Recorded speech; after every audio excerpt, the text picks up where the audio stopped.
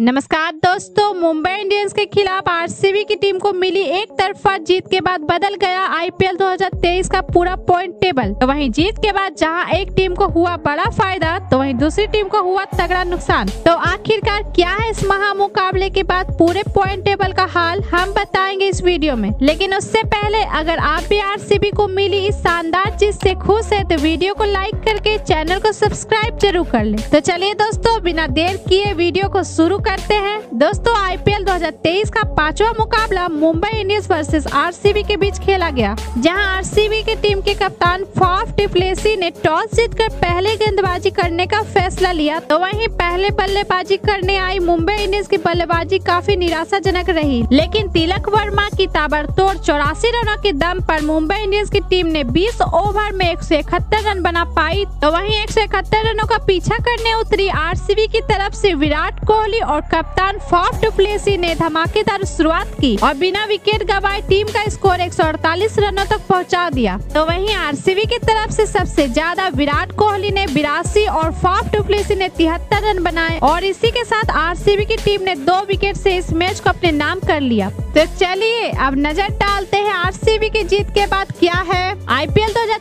के पूरे point table का हाल। तो वहीं दोस्तों नंबर वन की बात करें तो नंबर वन पे राजस्थान रॉयल्स की टीम है, जो अपना पहला मुकाबला जीत चुकी है। तो वहीं दूसरे नंबर पर लखनऊ सुपर जॉइंट की टीम है, जो अपना पहला मुकाबला दिल्ली कैपिटल के खिलाफ जीत कर पहुँची है। तो वही आज की जीत के बाद नंबर तीन पर आरसीबी की टीम पहुँच चुकी है। वहीं चौथे और पांचवे नंबर की बात करें तो चौथे नंबर पर गुजरात और नंबर पाँच पर पंजाब की टीम है, जो अपना पहला मुकाबला जीत कर पहुँची है। तो वही नंबर छह पर के के आर, नंबर सात पर सी एस के नंबर आठ पर मुंबई इंडियंस, नंबर नौ पे दिल्ली कैपिटल और नंबर दस पे सनराइजर हैदराबाद की टीम है, जो अपना पहला मुकाबला हार चुकी है। तो दोस्तों, ऐसे ही क्रिकेट से जुड़ी और भी खबरों के लिए चैनल को सब्सक्राइब ज़रूर कर ले।